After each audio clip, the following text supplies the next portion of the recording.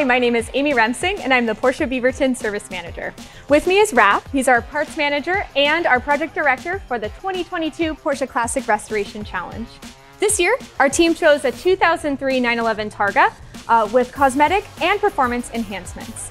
Raph's going to talk a little bit about why we chose this vehicle and what enhancements we made throughout the process. Thank you, Amy. Uh, so the reason we chose the 996 is because of its racing heritage. Uh, it performed well on track, but it also looked great on track.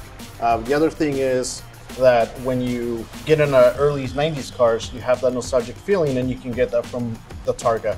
So with that, let me walk you through the car and show you some of its features and the things that we've modified uh, throughout the process.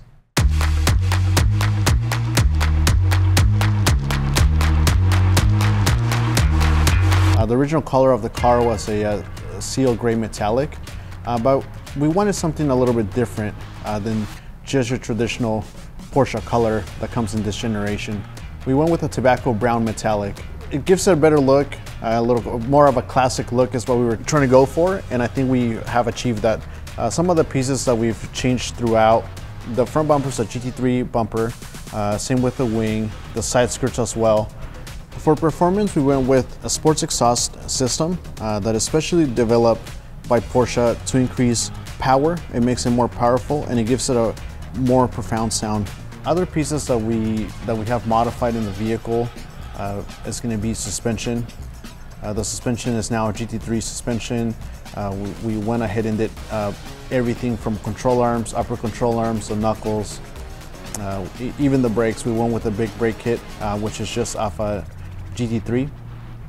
And some of the pieces that we've also modified, we've kept everything factory, but some of the cool parts about the car is the headlights have now been smoked, the taillights have been smoked.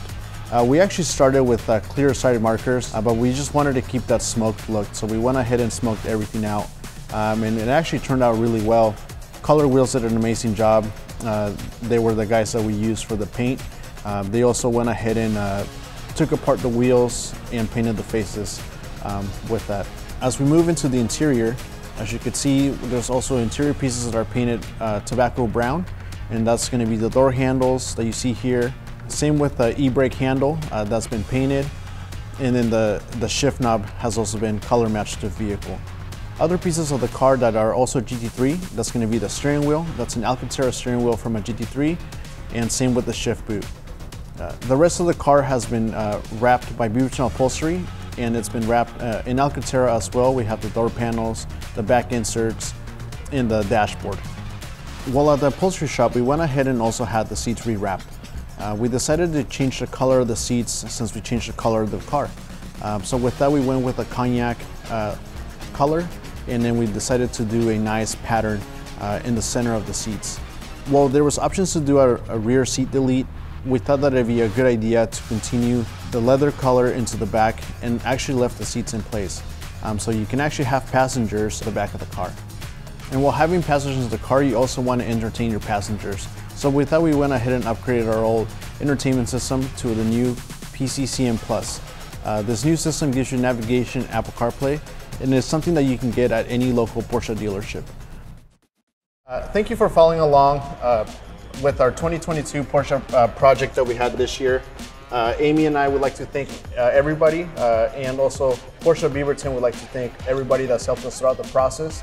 Um, that's with Cars and Coffees that we've done throughout the year. Uh, we also had Color Wheels involved with it and Beaverton Upholstery, so we'd like to thank everybody. But we also like to throw the question out there is, what do you guys want to see for 2023? Uh, so please let us know, and hopefully we can kill it, just like we did with this one. Thank you.